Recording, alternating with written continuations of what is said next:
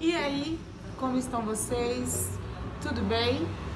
Galera, a atividade dessa semana é a seguinte: ela vai ser feita sobre a animação Viva a Vida é uma Festa.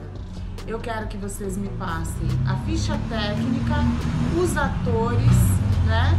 E o diretor. Também quero que vocês me passem se essa, se essa peça, se essa obra, se ela ganhou algum prêmio e quais foram, tá bom?